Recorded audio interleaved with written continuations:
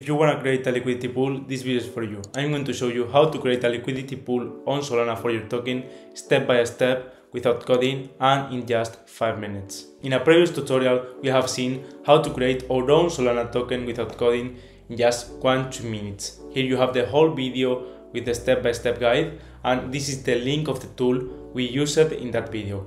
In this case, for this video, we are going to go directly with the process, so let's start with the liquidity pool. For creating our liquidity pool in this tutorial we are going to use Raydium because it's public. Anyone can create a liquidity pool on Raydium. If we want to go for example for Orca we should wait and apply for creating a liquidity pool so in this case we are going to use Raydium.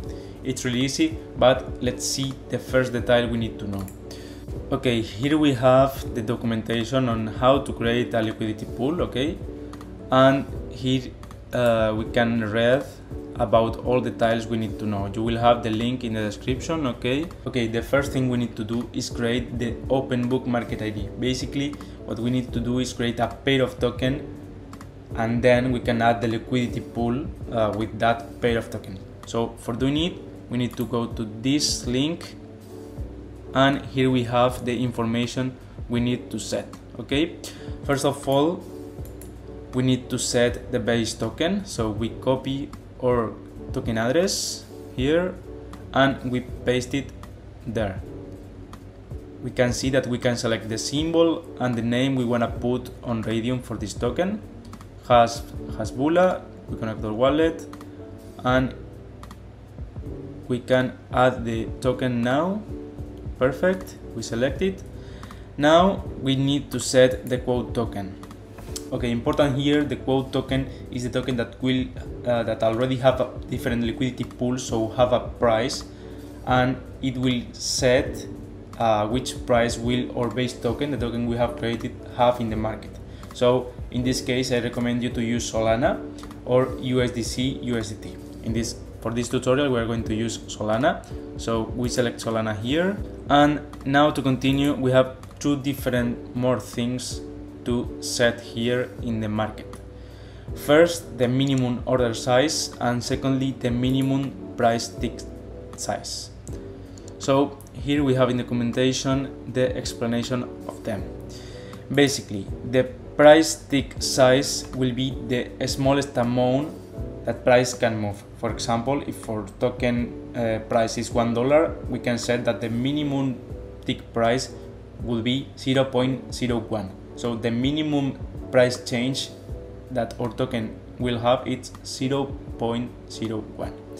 And the other thing, the minimum order size will be the minimum amount that anyone can pay for buying our token in the liquidity pool. It's really important before creating your liquidity pool to set the conditions, okay? You need to create a tokenomic, set the distribution of tokens, you can set how much liquidity you are going to add etc etc in this case as this is a random token i will just set 0.01 and 0.01 but anyways spend your time to prepare the economics and the strategy behind your token if you want to make it success.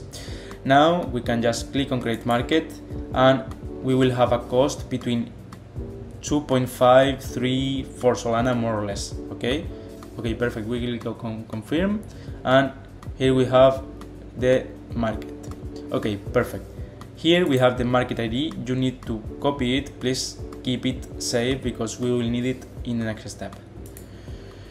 I copy mine and we can go directly. Hey sorry for disturbing. This is just a reminder to smash the like and subscribe button and that Smithii is the all-in-one management software for nft project. If you are creating an nft project or managing one you should try it for free on smithii.io we will provide you analytics and management tools that will help you improve your project performance while slashing cost. To Raydium screen, go to liquidity and if we scroll a little bit down, we will see the create pool link. So for creating the liquidity pool, we need we first need the market ID and we need to set the price uh, that our token will have when we launch it publicly uh, on trading. So we paste the market ID here, we connect our wallet, and here we can confirm the import of the market ID. Now the next step, as I was saying, is setting the price and the initial liquidity.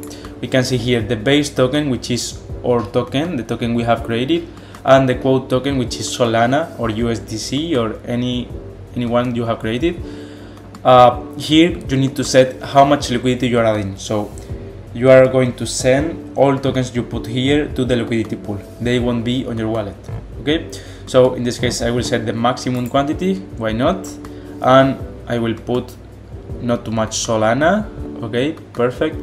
And here we have all the information okay the base token which is the one we created the quote token we can set the launch time of the liquidity pool okay but anyways in this case spend your time for the strategy but for now we are going to create our pool. We need to confirm a transaction sending the tokens. We need to pay a little fee of solana here too as you can see. But anyways it's not too expensive. We click on confirm and now we need to wait a bit for the transaction to finish.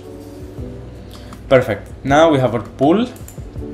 Here we have like the pool id uh, you need to keep it too because you will be able to identify your liquidity pool with this ID. So now we can go to the next step. Uh, it may take a bit time, okay? We need to wait 5, 5, 5 10 minutes in order to get the token listed and be able to swap. But after 10, 15 minutes, 1 hour maximum, we will be able to swap our token.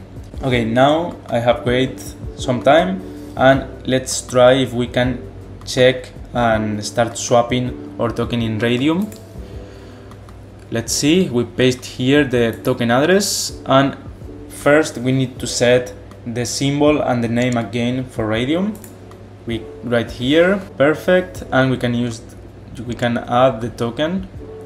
We select it and confirm. Perfect okay so now we are able to swap the tokens. We can set how much sol we can we want to buy and we will see how much uh, hasp hasbula we are going to receive. It is spending some time on finding the, the pool at the beginning. Don't worry it's normal. And here we have the conditions. Here we have how much would we receive the price impact. Take on account as we didn't add too much liquidity uh, we will receive a price impact really high. So we will have a warm it's normal. It depends on how much liquidity did you add. Now we can also check our token in birdeye which is like the trading platform people use to check the pricing and everything. And we can find our token hasbula here without any problem so now we have our liquidity pool ready for token. It's time to make marketing. But if you also want to list your token on Jupiter Exchange, which is the most used exchange right now in Solana, here you have a tutorial on how to do it step by step.